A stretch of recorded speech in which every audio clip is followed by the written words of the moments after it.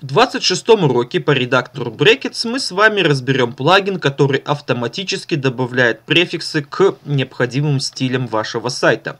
Итак, зайдем в менеджер и здесь установим плагин под названием автопрефиксы. Так, у меня тут что-то выползло автопрефиксы. Э, ну, в общем, вот. Вот так он называется. Жмем «Установить» и происходит установка на наш редактор. Отлично. Теперь мы все это дело закрываем. И смотрите, ну, давайте покажем на примере тега h1. У меня там в конце специальный стиль под него есть. И здесь смотрите, что я добавляю ну, какое-нибудь новое свойство. Давайте transform добавим, rotate и повернем его на 3 градуса в обратную сторону. Вот что в итоге у нас получается, видите, да?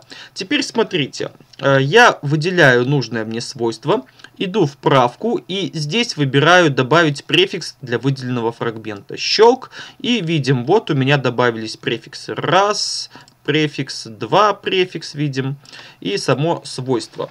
Э, иначе можно работать следующим способом. Например, у нас есть вот такое свойство, и здесь в правке мы указываем добавлять префиксы при сохранении файла.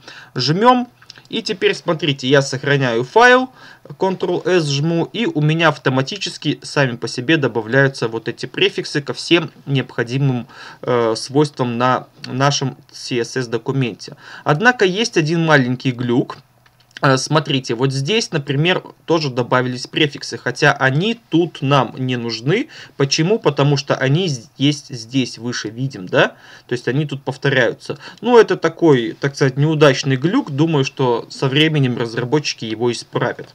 В принципе, на этом все, что я хотел вам сказать. Переходим к следующему занятию.